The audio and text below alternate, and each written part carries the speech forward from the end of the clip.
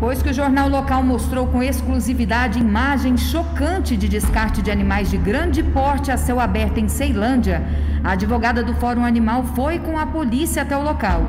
E segundo ela, a situação é ainda pior. Realmente, os animais ainda se encontram a céu aberto, em estado de putrefação.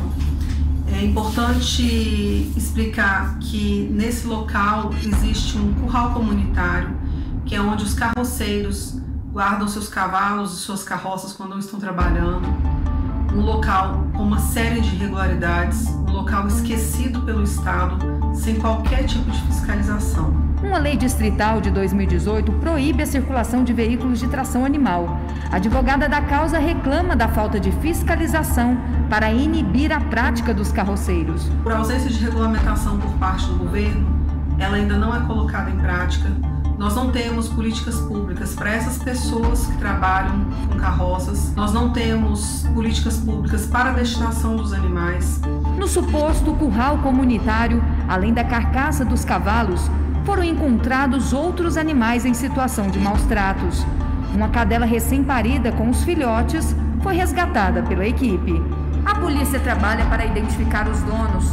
Além do crime de maus tratos, o descarte irregular de animais pode contaminar o solo e causar doenças. A carcaça desses animais dispostos a céu aberto pode ser uma fonte de contaminação para o solo, para o ar e para a água.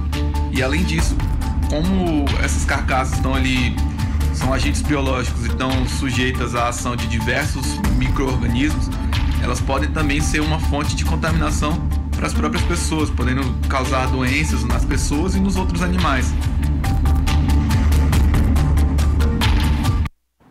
Boa tarde para você, JL no ar. Olha, a nossa produção foi atrás né, da administração do Sol Nascente para saber se tem conhecimento ou não desse curral comunitário aí, das condições do local e também da situação dos animais que estão por lá. O pessoal informou o seguinte, que soube de tudo isso com a nossa ligação, com o nosso trabalho aqui. Uma equipe vai lá ainda hoje, né? Essa é a promessa da administração. Vai lá nesse curral para apurar essa situação toda aí e tomar providências com relação a esses animais mortos aí, ó, que você acompanha. Nós te mostramos essa imagem ontem. Continuamos nesse caso hoje, porque isso ainda tem muito para render, tá bom?